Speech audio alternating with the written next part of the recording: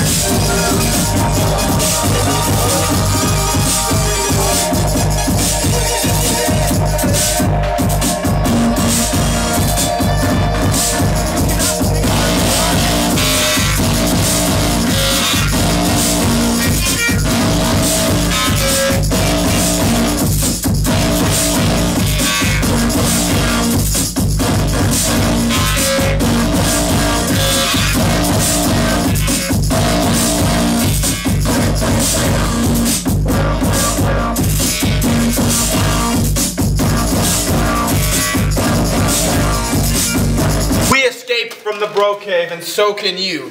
This is our message to our followers, our cult, our creepy, creepy friends.